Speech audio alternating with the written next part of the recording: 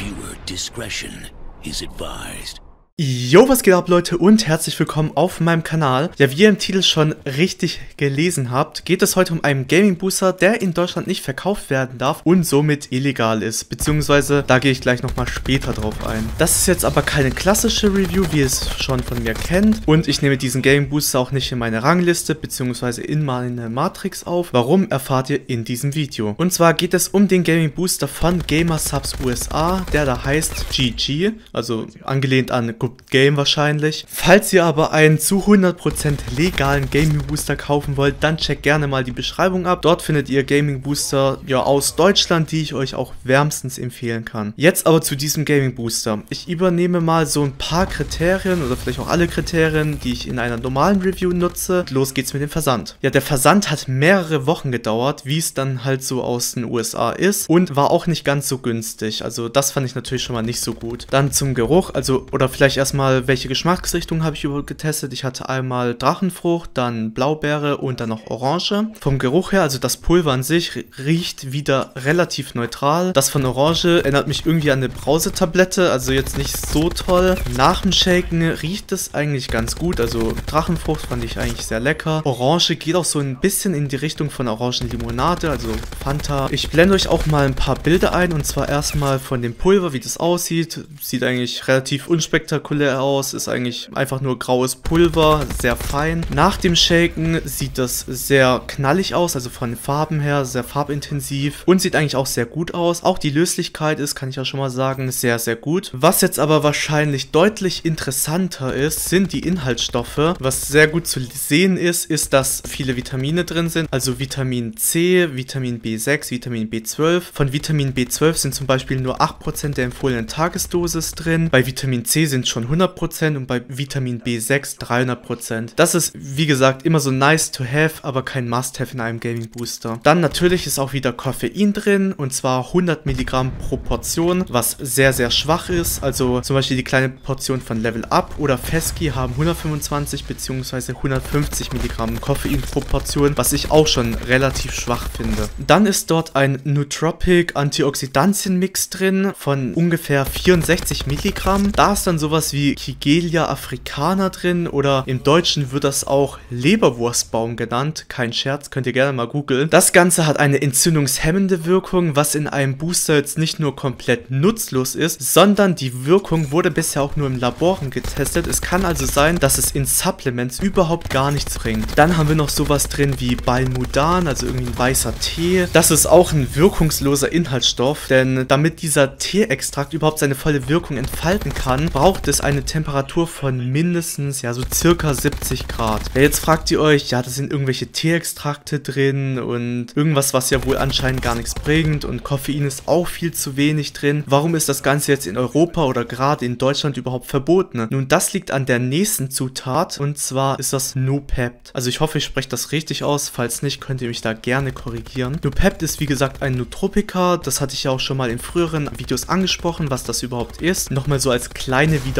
für euch. So ein Nootropika soll eine vorteilhafte Wirkung auf das zentrale Nervensystem haben. Meist dann auch ohne wirklich nachweisbare Langzeitnebenwirkungen, also was ja auch was Positives ist. Jedoch wirklich bewiesen ist das nicht oder zumindest nicht bei jedem Stoff. Stoff klingt so ein bisschen komisch, aber ihr wisst, was ich meine. Es gibt auch eine sogenannte rote Liste in Deutschland, in der alle Humanarzneimittel und Medizinprodukte aufgeführt sind oder ich glaube die meisten, die dann auch erlaubt sind. Dort sind auch ein paar Nootropika zu finden. Das einzig pflanzliche ist glaube ich Ginkgo, das kennt ja jeder, aber es gibt auch einige chemische wie Modafinil, was ja gegen Narkolepsie, also gegen eine Schlafkrankheit hilft. Das ist aber rezeptpflichtig und Nikotin zählt auch als Nootropika. Wie jeder weiß, ist das ab 18, also das Nikotin erhält man ja in Zigaretten zum Beispiel. Das Nupept, das im Gaming Booster drin ist, ist aber nicht in dieser roten Liste aufgeführt und somit befinden wir uns hier in einer rechtlichen Grauzone. Denn offiziell ist ja nicht aufgelistet, also auch nicht wirklich erlaubt, aber wirklich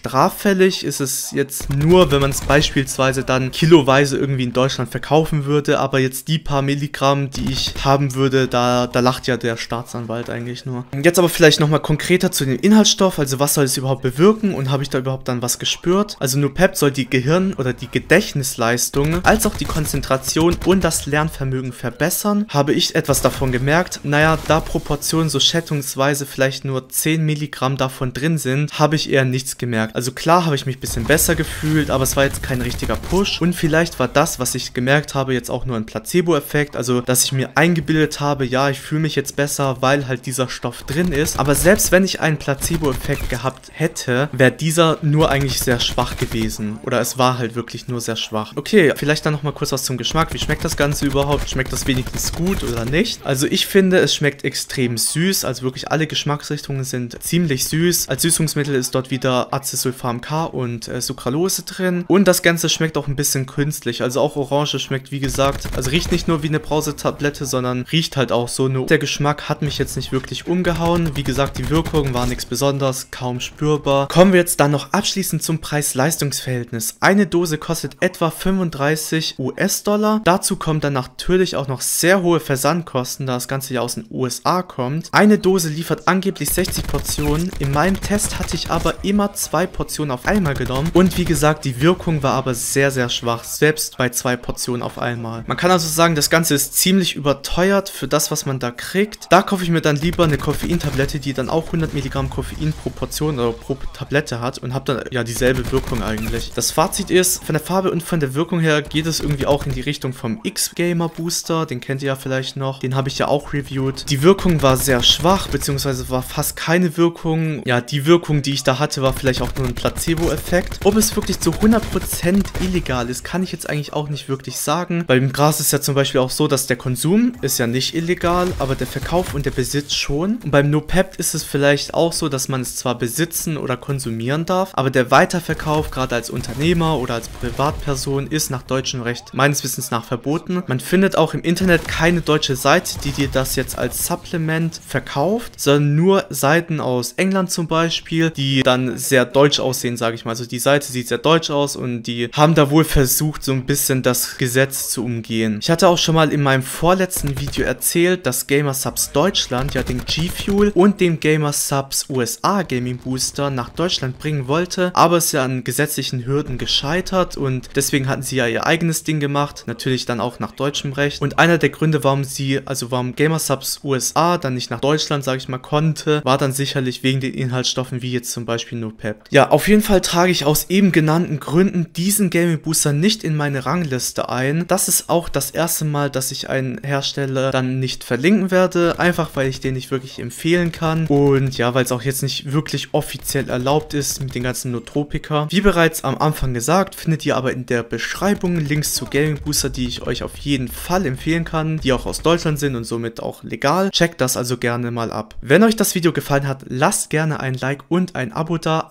aktiviert die Glocke, haut rein, bis zum nächsten Mal Leute. Und tschüss.